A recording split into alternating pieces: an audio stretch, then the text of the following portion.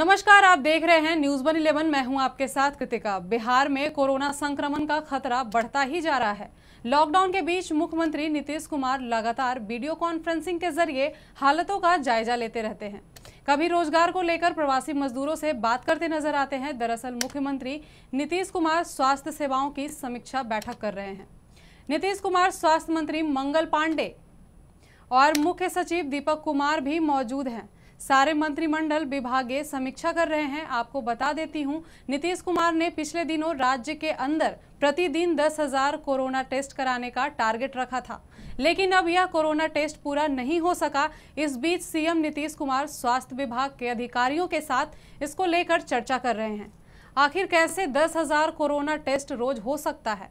बिहार में प्रवासी मजदूरों के आने से बिहार में लगातार कोरोना मरीजों की संख्या बढ़ती ही नज़र आ रही है। प्रवासी मजदूरों को सैंपल जाँच भी तेज़ी से करना होगा, क्योंकि अब तक करीब 15 लाख से अधिक प्रवासी बिहार आ चुके हैं। स्वास्थ्य मंत्री मंगल पांडे ने जानकारी दी है कि कोरोना की जाँच के लिए मशीन पटना के आर एमआरआई पहुँच गया है। भारत सरकार ने आईसीएमआर ने इन्हें भेज दिया है। इस मशीन से प्रतिदिन 1000 सैंपल की जाँच हो सकती है। अगले सप्ताह से इस मशीन की जाँच शुरू हो जाएगी। इस मशीन से प्रतिदिन 1000 जाँच की क्षमता बढ़ जाएगी। लेकिन सीएम का टारगेट 10000 जाँच रोज का है, क्योंकि प्रवासियों के आने से संक्रमित मरीजों की संख्या में बढ़ोतरी हुई है। बिहार झारखंड की तमाम खबरों के लिए बने रहे न्यूज़ वन इलेवन के साथ। नमस्कार। बिहार और झारखंड की तमाम खबरों के लिए हमारे यूट्यूब चैनल को सब्सक्राइब करें और बेलाइकन दबाना ना भूलें।